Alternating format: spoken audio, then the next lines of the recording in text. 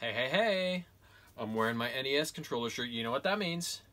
Another Bill 69 entry. We've been delayed. Let's face it, everything's been friggin' delayed because of COVID, bloody COVID.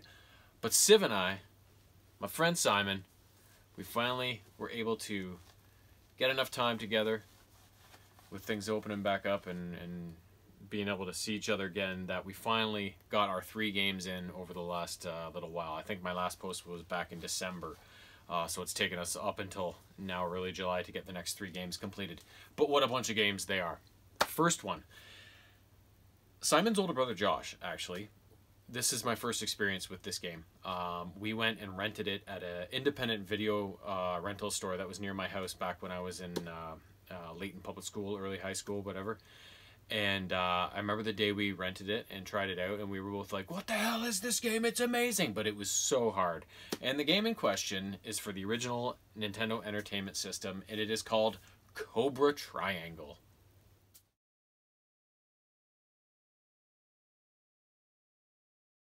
Cobra Triangle, I think, is like a play on the whole Bermuda Triangle mysterious body of water uh, phenomenon. And uh, so in this game, you are in control of a little speedboat, and you are faced with uh, making it through 25 levels of the game, uh, which come not necessarily in a linear order. Certain types of levels you can take different branches, and depending on which direction you take, you'll you'll face the other levels of the game in a in a different order than you would if you took the other branch. Um, like I said, there's 25 total levels, and each level, uh, there's different types of levels. Uh, sometimes you are racing to the finish against uh, enemy speedboats. It's just a simple race. Sometimes you're racing to the finish, um, and uh, the levels are always timed um, against uh, various elements uh, of nature that are at play against you, like logs that are floating down the river, uh, whirlpools that develop and suck you down, um, different stuff like that. Uh, sometimes you just have to uh, hit a series of jumps that are moving back and forth uh, to get to the end. Uh, in other ones, you have to uh, dispose of mines that are a danger uh, by taking them from one spot to another, but other speedboats are trying to take them back from you, sort of thing. certain types of levels, there's a bunch of swimmers stranded in the in the middle of the lake or the river or whatever you have to defend them while enemy speedboats try to take them away and, and make sure you at least keep one before the time limit runs out. And, uh, and then, of course, there's lots of boss levels as well. So um, the bosses include, uh, you know, a, a, great white shark, a giant crab, a giant squid, this sea monster sort of thing. And, uh, and uh, in terms of uh, pickups along the way, there, there's really only two to worry about. It's pretty simple that way one ups, which gain you extra lives, which are really important if you can nab them because you've only got a limited amount of lives and continues in this, in this game. And like I said, it's really, really hard. Um, and the other one are these little pods that you can collect with numbers on them. And when you collect a pod, uh, on your dashboard at the bottom of the screen, you'll see um, what is it? Uh, um, turbo, fire, missile, speed, um, force or something like that. So they all correspond to different abilities of your boat that you, you can upgrade over time. Uh, um, turbo is, is your, your boat's acceleration. Fire is the power of, of your uh, primary weapon. Uh, top or speed is your, your boat's top speed. Missile is the ability to gain missiles and then upgrade them. And then force uh, grants you a temporary force field. So when you collect these pods, you'll notice these abilities will highlight. One of them will highlight when you get these pods. So you just press select to lock in an upgrade on that one. Um, so sometimes you prioritize different ones. Uh, we always prioritize uh, the weapons because it's those are really key. Um, the force field we never used. It, it, was always weapons first and then your speed. Um, and uh, because if you want to make it through the game, uh, having your abilities upgraded is, is a huge part of it.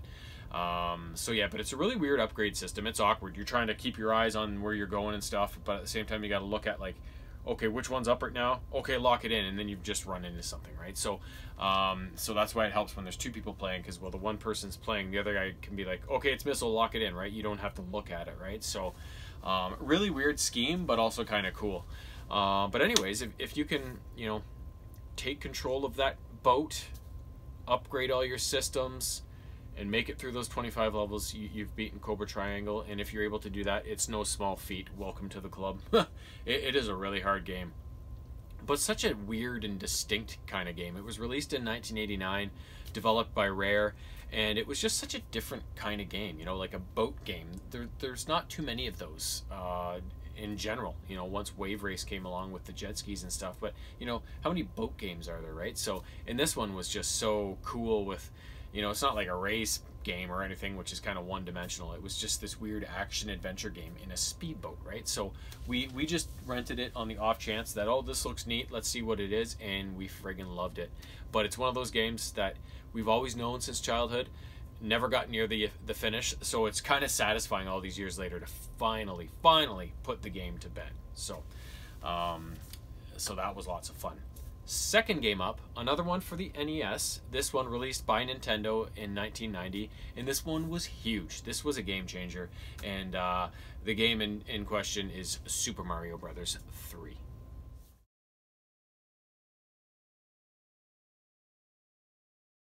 As you may or may not know, uh, Simon and I beat both the original Super Mario Brothers and number two uh, previously in our Bill 69 journey. And this one goes more back towards the formula of the first game, only it adds immensely to it. Like, this was a revolutionary game at the time. Um, so, uh, the, the story behind it is that uh, Bowser, King of the Koopas, has invaded the uh, Mushroom World. Um, and the Mushroom World is the seven kingdoms that surround Princess Toadstool in her Mushroom Kingdom.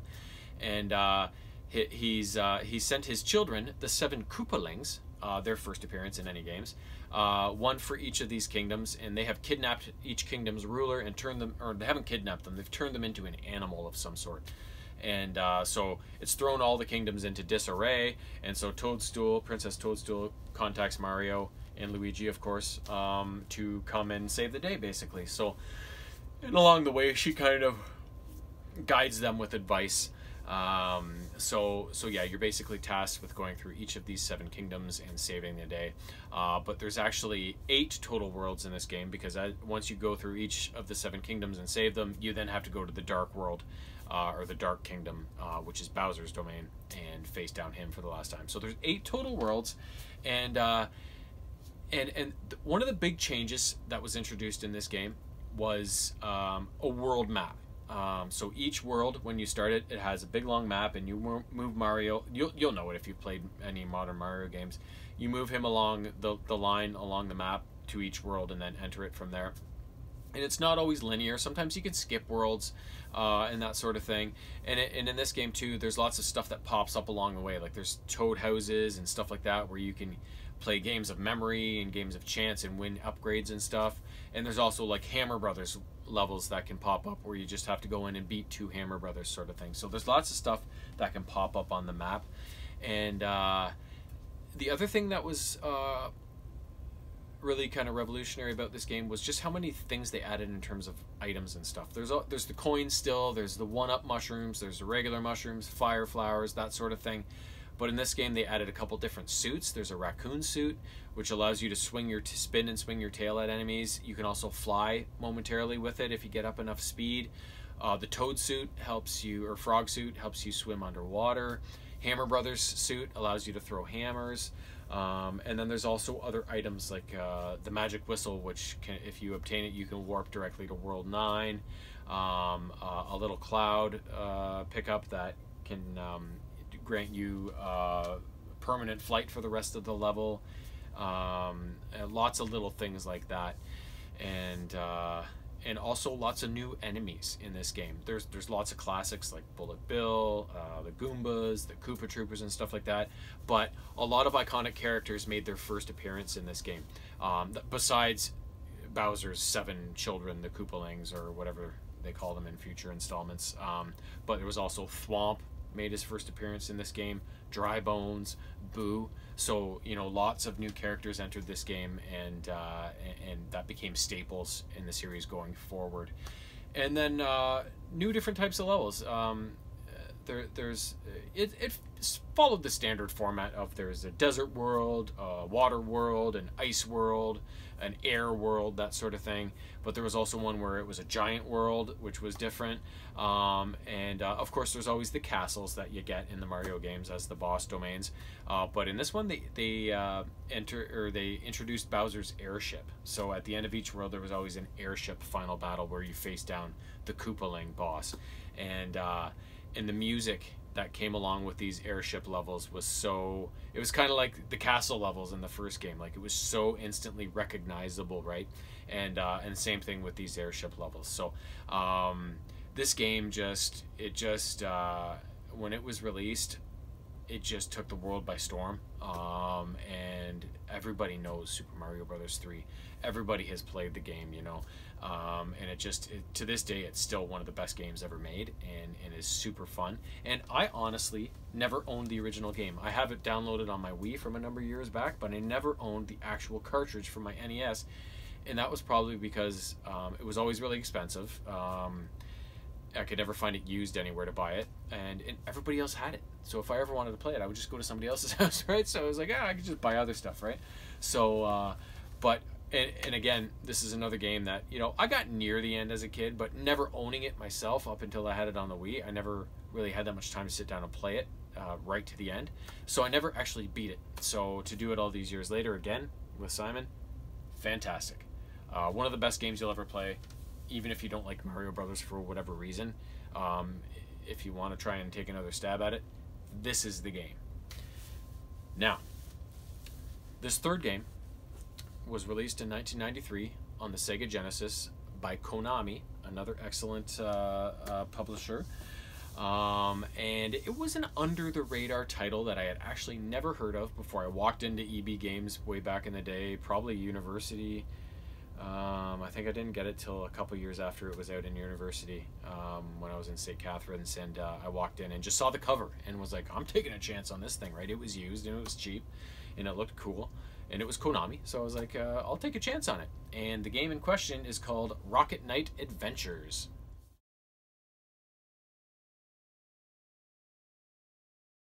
The moment I got this game back to our house and played it, I was hooked. I was like, this game is awesome. And uh, like I said, it's it's an under the radar game. Nobody really knows about it.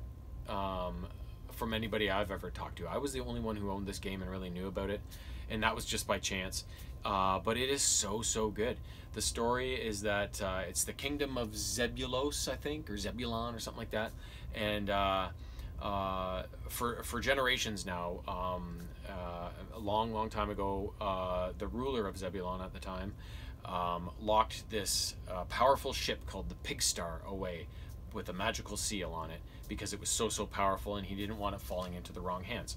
Warp ahead many generations later, and there's some unrest in the kingdoms around Zebulon or Zebulos, whatever it is, and uh, and people are starting to thirst for this pigstar and for the power it can bring them. So, um, to combat this threat, the Rocket Knight Adventures or the Rocket Knights, the game is called Rocket Knight Adventures. The Rocket Knights were formed to to protect the pigstar and, and to put down any threats like this. Um, a, a, group of, of trained warriors that sport jetpacks and swords. Um, and uh, in this game, you control Sparkster. Uh, he is an opossum. This is all an animal kind of game. Um, who is the leader of the Rocket Knights at this point? Um, he was an orphan, and he was brought into the Rocket Knights by the by the uh, organization's leader at the time, and uh, was trained up and, and showed a lot of promise.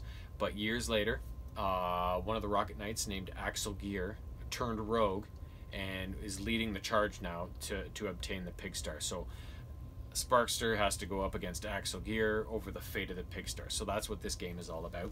It consists of seven total stages, which is broken down into little levels or subsections or whatever you want to call them, with each one ending in a boss. Um, so there's lots of boss fights in this game. And uh, it's kind of a, I don't want to say steampunked because I don't even really know what that is, but it kind of, it's a lot of mechanical and, and half biological, half mechanical kind of things going on in this game. Uh, the the enemies you face in this game are uh, kind of hybrids between that. They're kind of half biological, half machine, and they're mostly uh, pig related. The pigs seem to be the enemies in this game, and uh, and that's who you go up against. And they have various contraptions you have to face off against. Uh, the bosses though are primarily fully mechanical, and, and you'll face off against like a giant uh, robot sea dragon, um, uh, a big centipede, uh, this kind of train tank thing, and lots and lots of other ones because there's tons. Um, and for the most part, the game is, is a side-scrolling platformer kind of format. But every once in a while, you get a level where you, you get a permanent boost on your jetpack and you fly through the level, uh, uh, always heading to the right um, at high speed, and you, and you take the level on that way. Um, in terms of Sparkster's moves, they're pretty basic. He basically can jump and he can slash with his sword. However, if you hold down the uh, the attack button, um, you'll boost his his rocket pack, and then you can either, if you're stationary when you let it go, he'll just do this spinning attack in place, or if you're holding the directional button in any of the eight directions, he'll then launch in that direction and uh, do damage to any enemies he'll hit he hits along the way while doing so. And that moving like that also helps um, in levels where he has to climb uh, and get to high places, or in levels where he's in a hurry, like if somebody's chasing him, or if the level's moving down really fast and you can get crushed, sort of thing. So you have to use that to your advantage. Uh, in terms of pickups, there are diamonds, which give you points, and if you earn a certain amount of points, you'll get a free life. There's one-ups, which make the free lives a lot easier. And uh, then there's two types of food pickups. Uh, there's apples, which replenish a little bit of his health meter, and then bananas, which give a much uh, more substantial uh, influx of energy on his meter there. So, um, so not a lot of pickups to be had. Pretty simple gameplay, um, but just so so fun. And uh, like I said, this game was released by Konami, and I read afterwards that um, a guy from Konami that worked on a couple of the Contra games, uh, Hard Corps and the Alien Wars, worked on this game, and you can really tell, especially with explosions and the sounds of the explosions and stuff. Like there's a lot of similarities between that and those Contra games, and it's just uh, and you know how much we like Contra. I mean, we've got three or four Contra games on this list already that we've completed. So, um, so this game just was just a a, a sneaky come from out of nowhere under the radar hit that just I added to my collection just by chance on the look of the cover and it has become a staple on, on my Genesis collection. And uh, and this is another one like Super Mario Brothers. Um, I, I always got near to the end um, but could never quite close the game out. So putting our talents together all these years later uh, has paid off for me and Simon yet again because it's another game that took many many years decades to beat but we finally got it done. So um, that is all for for this time around. Those are the three games we've recently beaten, and I believe that brings my total our total up to 48 games completed, which means we got 21 left to go. So we're now in the process of really paring down the games we really want to beat to end this list because we each have games that are really important to us that we want um, to be on this list, and we were saving for near the end because because they are so special. So we're in the process of doing that, and uh, and there'll be definitely be some cool ones coming in the future. So, uh, but who knows? With everything in the world going on the way it is, uh, when our next post will be, but uh, you can guarantee that we're working on it.